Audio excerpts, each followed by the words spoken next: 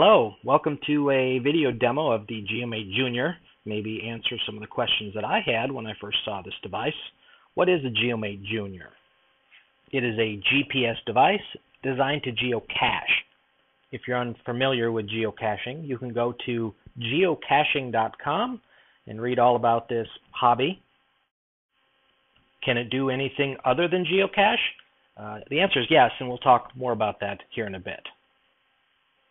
So first, let's have a look at the hardware here. The device comes with a lanyard in the box, nice touch, about the size of a credit card. Really uh, small, handy device. Also, it uses regular AAA batteries, which in my opinion is the best way to go. You can buy nickel metal hydride, you know, rechargeable batteries if you want from Target, or you can pick up AAAs just about anywhere. It also has a rubberized loop that you can put the lanyard through or stick a carabiner through. Nice touch again. So the first question I have to answer is, can it live up to the company's sales pitch, what they put on the box and on their website, their claim to fame for this device, um, which is pretty lofty. They say this is out-of-the-box geocaching fun. No computer required, no account, no internet connection, none of that. Just turn it on and it works. Step outside, turn it on, and start walking. That easy. Uh, will it do that? Hey, let's give it a try. Here we go. So let's take the Geomate Junior and get started. I've turned it on. Now I haven't programmed this or told it anything. All I did is put batteries in and hit start. Once you start walking, you'll notice the arrow kind of figures out the direction you're going and starts to point. Uh, here it says go left. Looks like we have 1,062 feet. Now it's well, it's off to the right a little bit. We're going to cross the street. Now it says take a left. Go about 900 feet. We'll skip forward here a little bit down to 600 crossing the street. Uh, parents, please note, it will cross streets, rivers, may walk you off a ravine. Kind of have to know what you're doing. So off to the right here in the parking lot, we're about 400 feet. Looks like straight ahead still. We'll skip forward here. Now we're getting pretty close. 55, 49, Looks like it's off to the right here a little bit. We'll turn and start heading in this direction. Look straight ahead, 25 feet. You'll notice there's a big clump of bushes there, and it's kind of coming to a rest here. Three, zero. Might have gone a little bit far. One step back. Boom, ground zero. Overall, I found this thing to be very accurate. But then again, just like any GPS, you your mileage is going to vary when you get in the trees, or if the original poster posted the wrong coordinates. But then again, it's all part of the fun of geocaching. So we found our cache.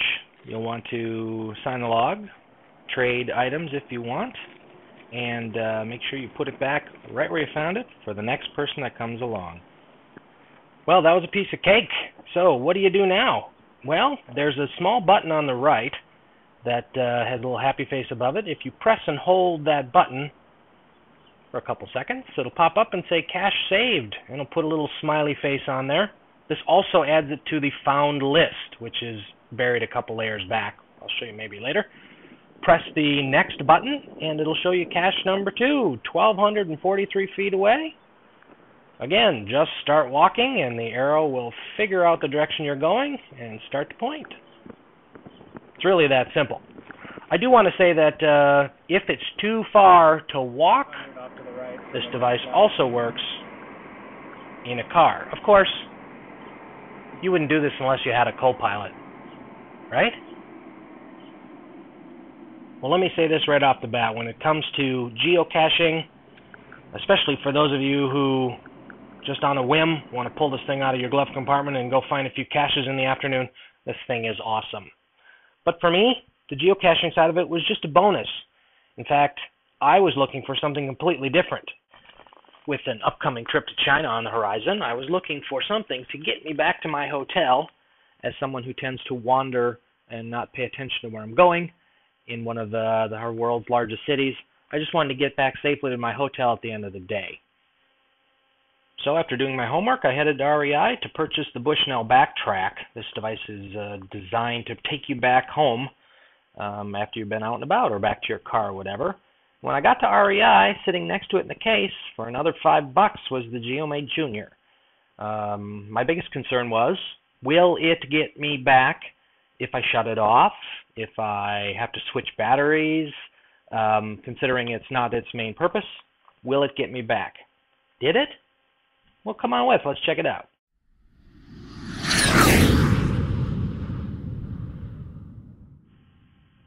All right, made it to China. I thought for my first day I better uh, do just a quick test, go out and have a bite to eat, come back to the hotel. If you press and hold both of the buttons on the front, it'll pop up and say home locked. And here I am at the hotel, and I'm simply going to shut the device off, stick it in my pocket, and head out for breakfast. Found some food. Can't tell you what I ate, but I'm ready to go back. Press and hold the big button with the big house on it and it'll point you back to your hotel. And there it is, and off we go, about uh, half mile away. Worked like a charm. The one thing I can share is you want to make sure you have a good lock, satellite lock, before you set your home position. Uh, I did find at a different uh, motel I was at that I could not get a lock on the satellites, whether it was the buildings or the power lines or whatever. Um, but all I had to do was simply walk to the other side of the building and it locked. Um, just something to keep in mind. On a secondary note, um, I did swap the batteries one day while I was out to a new set, and it still got me back just fine. I normally left the device off in my pocket, and if I was in an open area, of course, it was easy to get a satellite lock to get me back. In these super tight areas, I would usually just leave the device on in my pocket, and I was amazed how well it stayed locked once it was locked. Other functions of the GeoMate Junior. Uh, here at the Great Wall, I was able to use it to see how high I was, get my altitude. It'll also give you the raw coordinates, which is nice. You can go find those caches not listed in the database of the GeoMate, like a multi-cache or something brand new that's not listed. Or when you get home, fire up Google Maps, punch it in, and it'll show you exactly where you were at that point in time. Nice to have. It'll also give you your heading, just like the geocaching side of things, you have to be moving before it knows which direction you're going. Of course, as we already pointed out, how far back to the hotel or your car, whatever you did program in.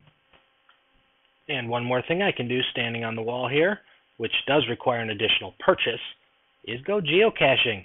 In fact, there's a geocache right down the wall here, about three quarters of a mile. That's really neat as I think I mentioned before, the GeoMate Junior is ready to go out of the box for the US of A. That means that Canada, Mexico, and the rest of the world for that matter, is not in the database. If you want to upgrade and get these other caches, like China, you'll have to purchase the GeoMate Junior upgrade kit. It's $25, allows you to put in these extra countries if you want, or you can simply update uh, your maps as often as you want. Just make sure your computer is compatible with their upgrade software before you make the jump. After you've swapped the database over, which was really easy, to whatever country you're going to, uh, when you're tired of sightseeing, that's right, time to go geocaching. And just like at home, turn it on and it'll take you right to it. Worked really good. Running out of time here, better wrap it up. Uh, my demo showed some of the things that were interesting to me, but if you want some real stats and uh, hard facts, you should check out some of the reviews out on the internet, uh, or check out the user reviews on, say, Amazon, that type of thing. Or you can always spin over to the company's website, mygeomate.com, and ask a question or check out what they have to offer. Although this thing is marketed towards kids, for me personally, I really like it. Combination of my cell phone for the data side of things and the GeoMate Make a great geocaching pair. One last thought, if you decide to pick one of these up, is uh, invest in a screen protector. The latitude longitude fonts are awfully thin, not unusable, but one scuff away from being unusable. Now, some of you will never have any reason to go in here. I personally like to go in here, especially in the woods, and would actually even prefer if they put them both on one screen. GeoMate, are you listening? Hello? And that's a wrap. Have fun geocaching, and hopefully we'll see you out on the trail.